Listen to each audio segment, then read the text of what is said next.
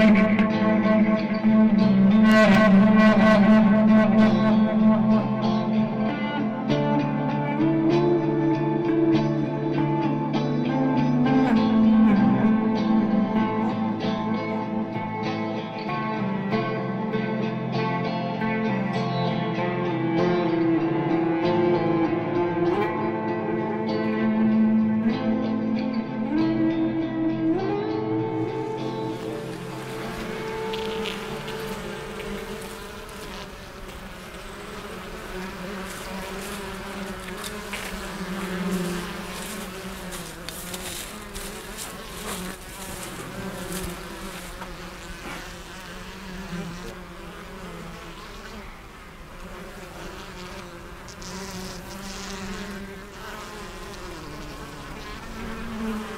Splendide. Quel plaisir. Quel plaisir de voir ça. Oh ça faisait des années que j'avais pas vu ça.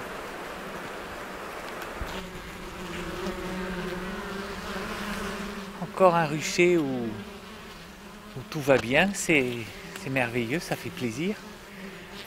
c'est vrai que là, cette année, j'en reviens pas, faut, faut le dire. C'est vraiment ça, j'en reviens pas.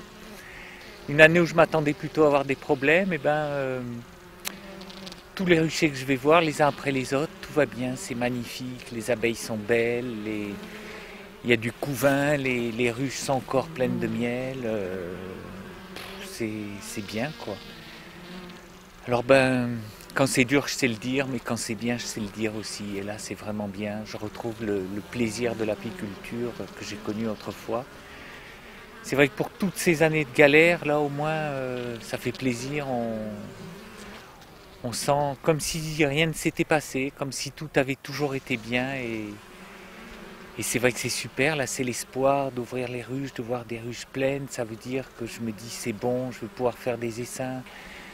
Certaines je les nourris pour que la reine ponde un peu plus. Euh, et je me dis dans un mois, autant je divise, je fais des essaims et c'est des ruches qui vont partir sur l'Aubrac, sur le Méjean. Euh, d'autres encore peut-être euh, en dessous de Millau pour faire du thym.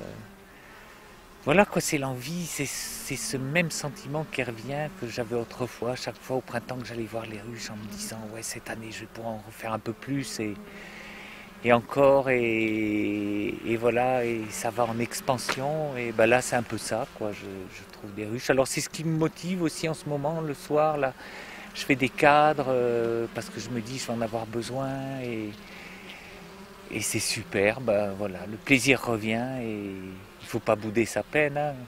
Quand la joie est là, euh, il faut en profiter. Et, et j'en profite.